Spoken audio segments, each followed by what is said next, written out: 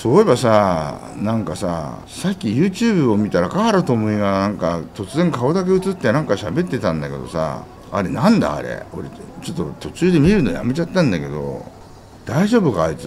なんか電話番号が手に入ったからあのメッセージ送ったんだけどメッセージだと受け付けないようになってて電話しようかなと思ったけどあの YouTube 見ちゃうと大丈夫かでも作ってる節もあるんでいやあいつと対談すると多分絶対面白いんですよ。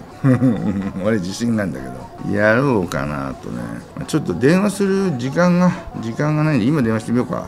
出るかな。これ今突然何にも思ってなかったんだけど突然思った。なんか電話するの嫌だなと思ったらなんかなんて言おうかなと思って。でもなんか電話番号がね分かったんですよ。だから突然してみましょうか。絶対見てないと思うし。NTT ドコモダメですね。繋がってませんね。この間教わったばっかなのに。待って間違えてるかもしれないから。通話中または通信中。通話中または通信中って出ますね。そんなに電話するかね。通話中と出てますからきっと小室哲哉さんと喧嘩でもしてるんじゃないでしょうかね。昔よく喧嘩してたんで。はい